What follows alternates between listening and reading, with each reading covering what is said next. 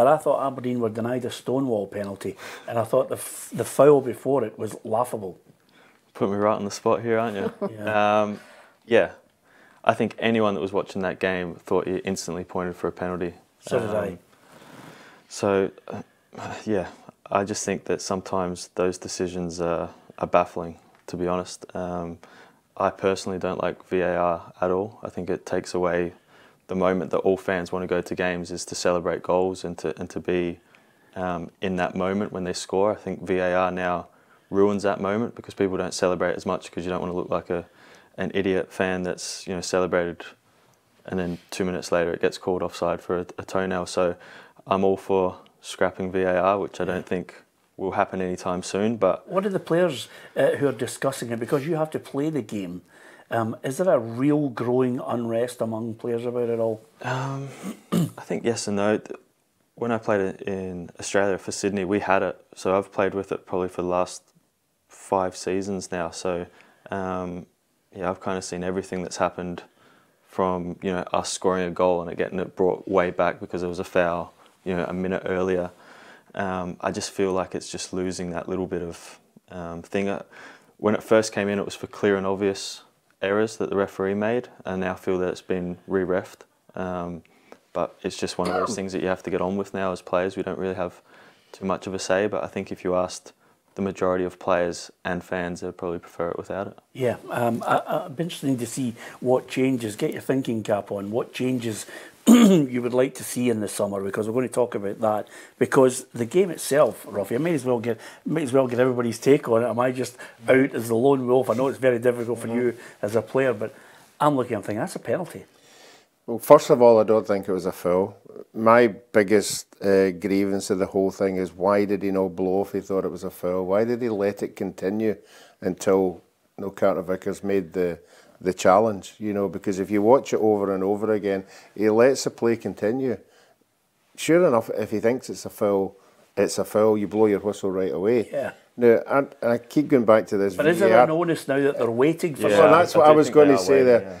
Is he in contact with VAR while that's going on? While that, that play is going on, could somebody be saying to him, check that foul? In my mind, no, Ruffy. He's in my mind, once the phase of play is over, they then say delay, delay, delay. There is something to to look at here, mm-hmm. and then they will look at it. So They never looked at it.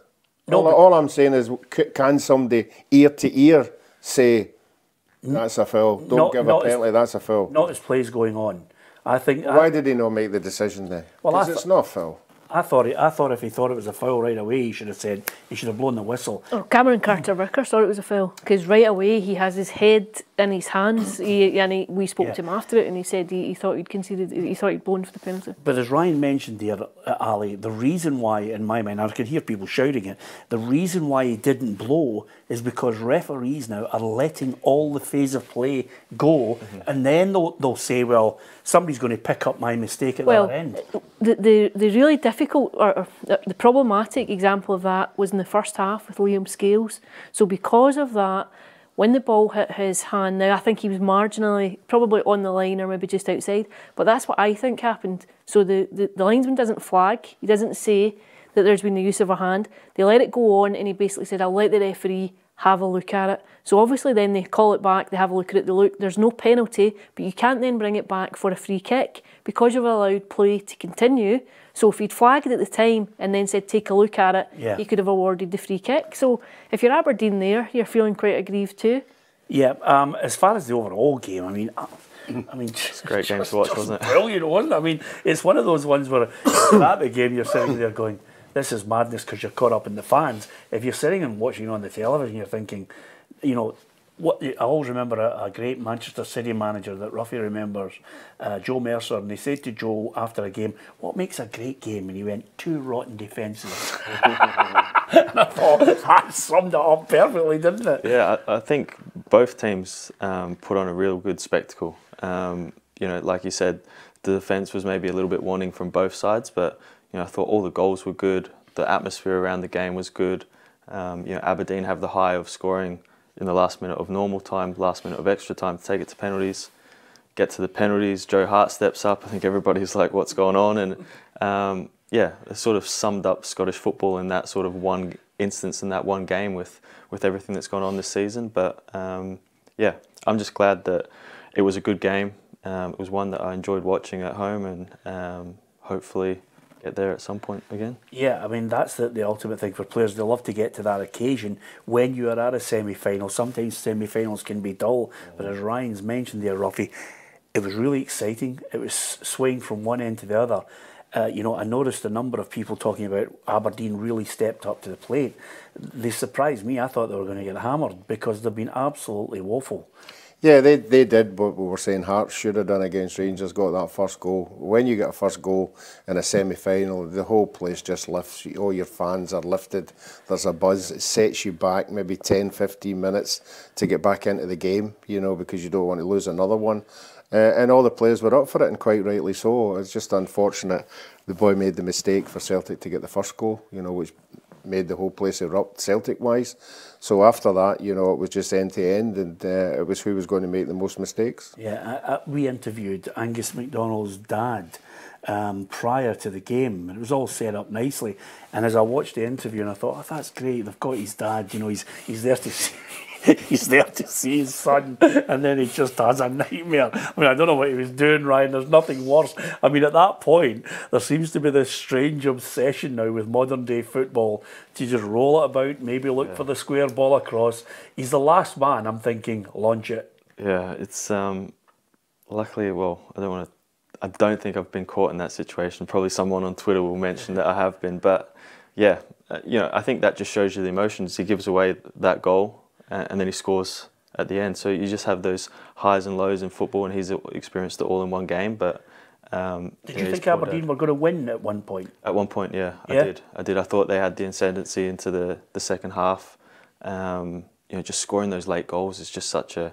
Celtic would have been thinking that's us done two one, scoring last minute. Then they've got oh, got another thirty minutes. Aberdeen's got that lift of you know we've scored two already. We're playing well they've got players in their team that can make a difference, and I think that's probably what showed throughout this extra time as well. I thought they were probably slightly better team in the in extra time, and um, I think a lot of Aberdeen fans will probably be wondering where was that team all season because they have got a really really good squad there, and it just goes to show that when they're all on on their game that they're a, a game for anyone. Yeah, um, Ruffy, two brutal points here, just on that point with which which you mentioned there, which is. Um, you know Aberdeen's performance, uh, and a number of people have come out uh, and said. Uh, in fact, let's hear from Peter uh, first of all, just on the point of the performance. First of all, this is what the Aberdeen manager had to say at the end of the game. He texted me last night, just wished me good luck. Uh, I'm sure he would have been watching. I don't think his game's till tomorrow or or Monday. Uh, listen, he, he can see there's a good squad here. Uh, there's ability there, and obviously the heart and desires there as well. So, listen, it's, it's, it's up to the boys to keep performing like that. I said that's the standard for the next five games, so take it from there. Okay, he's talking about Jimmy Tilleen, who'll be watching mm. that game. Um, I'm afraid I don't agree with that, Ruffy. I think he needs a clear out. That, that squad's got four managers a sack. Yeah, and he'll have to judge it on the whole season. They're not going to judge it on the semi final, but it'll be the new manager coming in that'll make that decision. I do think that there is quality in that side. I just think they were really lacking in confidence, a lot of the players. Uh, there was no consistency level at all. One minute you'd see a good bit and then a bad bit. And getting into the game, I'm sure they'd have been, you know, worried a wee bit about the game. But getting the first goal, you know that everybody's up, everybody's going, "Go, we've got a chance here." So the rest of the season just goes out the window. You just focus on that particular game. Yeah, it's one game, Ali. Mm-hmm. They've had a whole season. The Dons fans and, and, you know, like St Johnstone fans, mm-hmm. like uh, Ross County fans, there's a heck of a lot of travelling to do, and those Dons fans have watched them. You know, it's it's been I hate the pun, but it has been a false dawn time and time again. Yeah, One manager comes in, not enough experience mm-hmm. gets out, and then we get to the debacle, which is yeah. Neil Warnock. Been perennial underachievers across the last few campaigns. I, I think it's a strange one. I think they've got the spine and the nucleus of a very good squad, but it's just not been reflected in results. You've seen it in sporadic games this season, Eintracht Frankfurt, Rangers, the performance against Celtic. I think um, I think Aberdeen fans would be entitled to ask where that spirit and energy and aggression has been across the duration of the campaign. Um, but I, I think that must be a particular frustration. I think they do have good players in there. Miovski, I think that was his second goal. I think he'd only scored two goals in 12 going into it. But he had Celtic spooked. Every time Miovski had the ball, particularly in that first half, you could sense the apprehension from Scales and from Carter Vickers. He, he, he carried a bit of menace, playing with a real confidence. He just um, had that aura about him that all good strikers have, that he looked as though he, was, he knew the way to go. But um, I think if you're an Aberdeen fan, you'd be tearing your hair out. Yeah. Um, Ruffy, what about goalkeepers taking penalties? That's all right if you're if you're Artur Boruc and you decide to put it in the post yeah. each time against Dundee United. But I'm not. There's not too many. I think there was a great goalkeeper. I, I don't know if he played for Colombia, um, uh, Chilavert, and he used to hit free kicks, yeah. 25 yards out. And he could bend them into the roof of the net. And of course, you had um, Hamish McAlpine, Dundee United. Yep. I think it's okay if you're taking penalties throughout the season, but for a goalkeeper to sta step up there and there's another four or five outfield players, you know, with a technical ability, you would think more than a goalkeeper. But I mean, if he's taking goal, if he's taking penalty kicks and training, uh, goalkeepers used to come up and take penalty kicks and training just for a laugh. You know, to see yeah. if you were as good yeah. as other people. You don't walk up in the semi-final. You've never hit one all year and expect you're going to. He was so confident, wasn't he? He was. Yeah. He was laughing and joking even when he missed it and even when he was making the saves, he, he just seems a special kind of guy, you know, who doesn't let anything get to him. And but to step up in the semi final and and miss it, I mean, he's very very fortunate. He saved, you know, the last one because yeah. if Aberdeen had went on and won it in the penalty mm -hmm. kicks, he would have come in for a bit of criticism. The thing yeah. is, as well, the subsequent penalty kicks were good.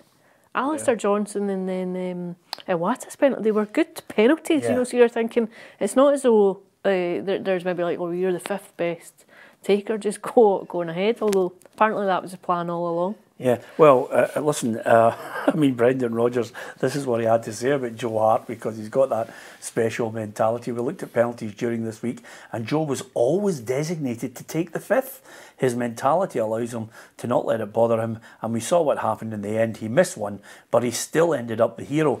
now, I don't know about you, Ryan, but um, it was Joe Hart, uh, you know, had a big dinner last night at Celtic Park, and boy, that's a fine line for testing it, isn't it? Can you imagine? Oh. He misses the penalty, and Aberdeen go on and win, and then they go, ladies and gentlemen, Joe Hart.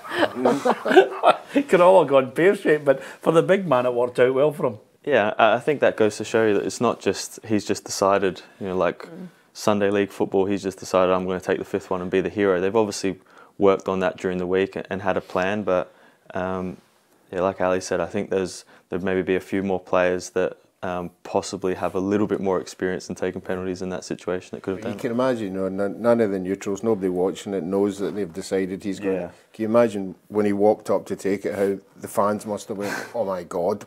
Yeah. Celtic fans were really nervous out. Obviously, like where we were sitting in the press box, you're surrounded by sports people. They couldn't watch. People were turning. People yeah. were like facing that us. was a sign of like, a good game, isn't it? couldn't, couldn't, couldn't look like yeah. uh, people were, well, were genuinely. I think I thought Celtic fans were. They obviously celebrated. I thought they were quite subdued at the end. I think they know. Like uh, I think this weekend has flipped the narrative again. This idea that it's just a straight procession that you're going to to the title. I think Saturday was a reminder that this there are frailties within the Celtic team as well. Yeah, well, if I mention I mentioned the positives of of, of Cyriel Dessers, I've got to mention the positives of the man they substituted. The substitute was substituted. Uh, James Forrest for me was the best player in the park. Okay. I mean, not only does he score the goal, but every pass he made was just of an experienced player with a medal all to die for. He's only 32, Ryan. If somebody picks him up, if he decides he wants to play regular every week somewhere else, they're getting a smashing player. Yeah, he's. Um, do you know his record against St Johnstone?